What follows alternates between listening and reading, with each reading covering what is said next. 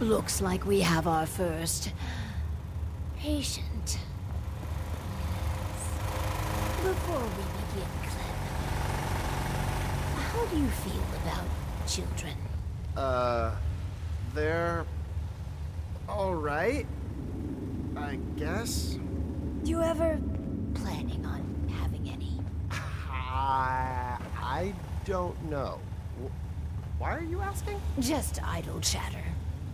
Go on. Hi, you here for an eye exam with the for this thing?